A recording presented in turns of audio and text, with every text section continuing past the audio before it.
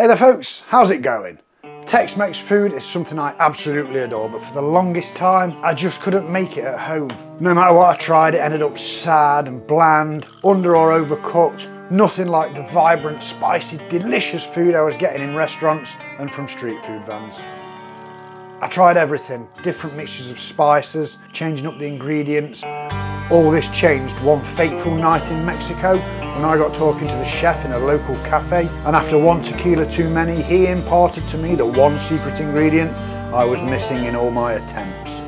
Quickly realising his mistake, he swore me to secrecy, but from that day to this, whenever I do Tex-Mex, it goes down a storm. Everything changed, and I realised this secret was too good to keep I couldn't be the only person outside Latin America who knew this, so stick around because today I break the vow I made all those years ago. Today I share this wisdom with you.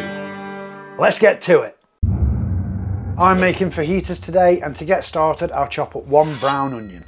Now I don't want to go too fine with this, I just roughly chop it into a sort of medium dice using the usual method of halve, peel, slice and dice. Next up, I've got two regular sized bell peppers in regulation red and green, plus this beautiful sweet Ramiro pepper. This adds a nice sweet counterpoint to the very slight bitterness in the bell peppers and it helps build out some more interesting flavours. You can of course go with whatever vegetables you like here. I'm just doing my basic fast fajita recipe today, but feel free to pimp these up with whatever you like. Experimentation, as always, is your friend. You'd be surprised at the range of things that work in this dish. Anyway, for today, I'll just chop up those bell peppers using my new favourite method. I'll just fillet the flesh from the core, leaving the stalk, most of that membrane and all of those seeds in the centre. Just discard that middle piece and I'm left with the flesh, which I'll deal with in a moment, right after I open and de-seed the sweet pepper. I approach this just like I would a chilli, so a quick slice along the length and then open it up and just go in with a knife and cut out the seed pod. I don't know if it's a seed pod, whatever. If this were a chilli, I'd probably remove some of the membrane too, depending on who I was cooking for. But in these sweet peppers, there's really no need, IMHO. On the subject of chilies, if you have fresh chilies lying around and you like a bit more heat, feel free to chop a few up and throw them in with the rest of the veg at this point. Anyway, that done and the seeds discarded, I'll just mow through this with my knife, cutting it into medium-sized chunks. Then I'll roughly slice the bell peppers into strips. Now my knife is super sharp, but if yours isn't, or if you're less confident with your knife skills, then a good tip here is to turn them soft side up and slice from that side. The exact opposite of what I'm doing here. If your knife is slightly blunt or if you're a bit hesitant for whatever reason, doing it that way makes it much less likely that your knife will slip and cut you. With all the vegetables, how thick or thin you go is up to you. This is my preference. I find it gives me a great balance between cooking time and bite in the finished dish. And I do like these to have some bite as a texture counterpoint to the rest of the ingredients. No, no, no, too soon, too soon. You're not ready for that yet. Let's prep some protein. I'm using chicken today because it's what I have. Other meats work well here. Steak is awesome, or even something like pulled pork. If you want to go veggie, then portobello mushrooms sliced fairly thickly are a fine thing too. Whatever you're using, slice it into strips of this sort of size to make your life easier when it comes to eating these things later. Cooking these goes by real fast, so pay attention and see if you can spot that secret ingredient. To begin, I'll get a cast iron over a high heat and add in a glug of oil. I'm using sunflower here, but any high smoke point oil will work. Once that's really hot and shimmering, in go the onions and the sweet pepper. I'm working in two batches because I don't want to crowd the pan. If your pan is bigger, you can do the bell peppers at the same time if you like. Just be sure they've got plenty of room so everything doesn't just steam. Resist the urge to stir these too often, let them sit and build up some really good colour. Once the onions have started to brown nicely and there's some char on the peppers, I'll pull those out to a plate and go in with the bell peppers. There's nothing new here, keep the heat high, let them sit develop some good colour, and then once they've coloured well and cooked through without being overdone, pull those out to the plate as well. Now for the chicken, I want some great colour on this too, and notice that I haven't added any spices yet. I'm going to fry this hard and any spices that we add now will just burn.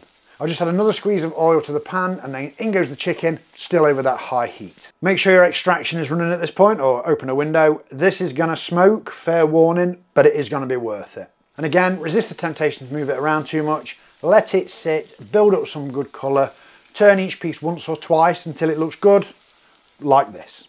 I will add a grip of salt at this point just to kick off the seasoning and then just let it cook maybe five minutes or so. Once it's got some good colour and is almost but not quite cooked through, I'll go back in with the vegetables and I'll follow those with a squeeze, maybe a teaspoon of tomato puree. Now you can use fresh garlic for this, but I like this garlic puree in my Tex-Mex dishes. The flavour works well, it's a little bit more forgiving of the heat so it doesn't burn quite so easily. And remember that heat is still on full at this point. Now while those begin to cook, I'll build out that spice story, starting, of course, with cumin. This is a total must-have. It's the signature flavour of the dish, so go big or go home. I use maybe a third of this small jar, which might seem like a lot, but trust me, you need it. Adjust it up or down to your taste, but don't be shy. I'll follow that with some smoked paprika and if you watch my videos regularly you'll know how much I love this stuff. Again I'm not holding back a good amount of that, maybe a quarter of this small jar, probably a dessert spoonful. Next is some mild chili powder. Adjust this depending on your heat preference but I'm cooking for kids today so mild it is. This will add a wonderful floral chili flavour without that burn. I'll add maybe a teaspoon of that and then I'll finish off the spicing with some onion salt Celery salt works well here too if you don't have onion salt. If you don't have either of them, then half as much regular cooking salt will do the trick. If you have the onion salt or the celery salt, go with about half a teaspoon. The tomato puree and garlic have had a minute to come up to temperature now, and over this heat they're probably about to burn, so I'll very quickly move those around and then just stir everything together. The chances of things will be looking a little dry at this point. If so, just add a little more oil. I'm using corn oil here because it's the first one that came to hand. Stir it through, making sure to get those purees and the spices evenly distributed.